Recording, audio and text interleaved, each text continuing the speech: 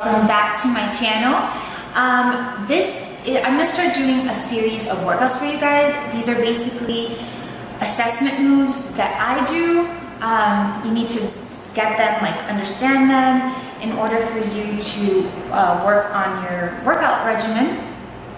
Um, so let's get to it. I just wanted to show you guys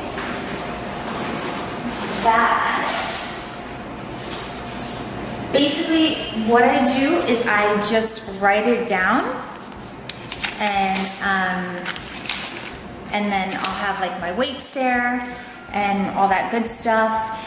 And what I do is a load versus volume. So every day it'll be different. I might have three days of load, uh, two days of volume for one week and then switch it around the next week.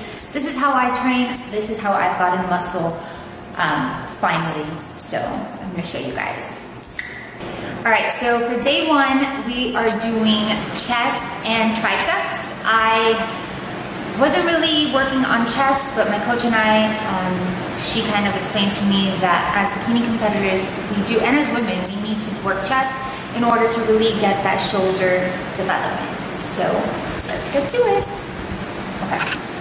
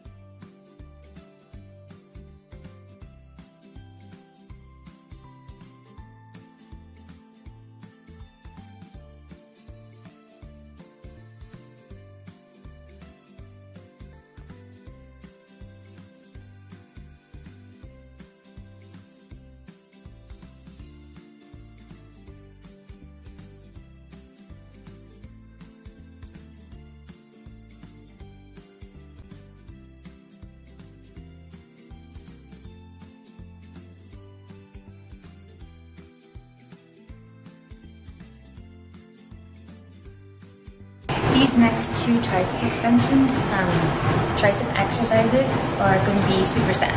So you do them back to back without any rest.